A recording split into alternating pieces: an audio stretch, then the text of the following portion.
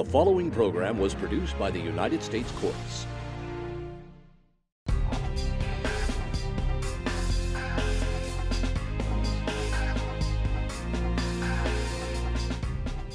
Whatever adversity you have now may not be any part of your life at all in some number of years.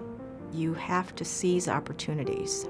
And to do that, it means you have to get out of your living room, you have to get away from your computer, you have to get away from the television, and you have to be out in the world. I grew up in an unlikely place, I think, in New Haven, Indiana.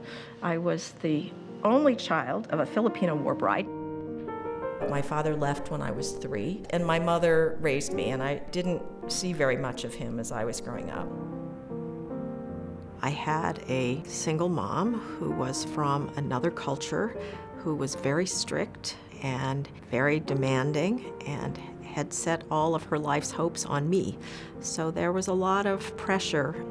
She used to ground me if I got B's, uh, so I had to be a straight A student.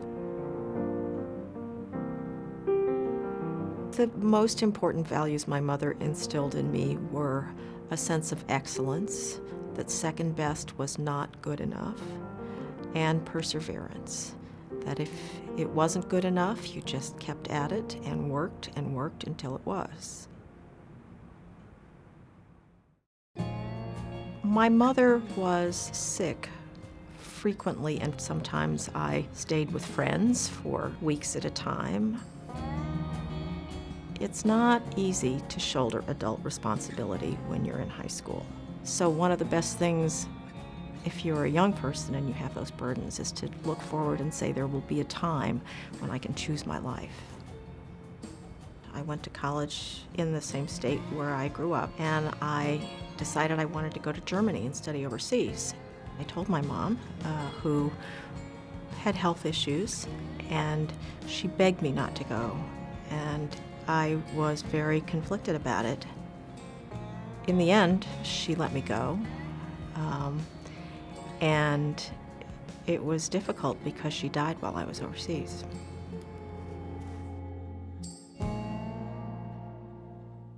I was a representative of my mother's desire to be an American and have an American success. I became, in a way, her success story.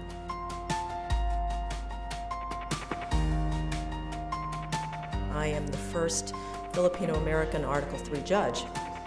Being a judge is just the best job. I have an opportunity to serve the community and I get to work with smart young people who I will have mentoring relationships with for as long as I live.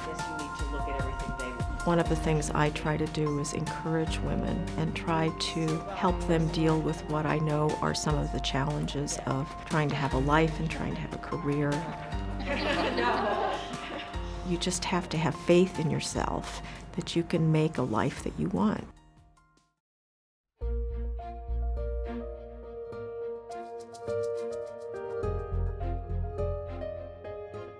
There's a tendency when you're young to think that where you are is where you always will be. And there are so many adventures and new things that you'll have in your life. Even though it's hard when you're young, it's important to take the long perspective. You can make a completely different life for yourself. And it's important to remember that when things just seem too hard right now.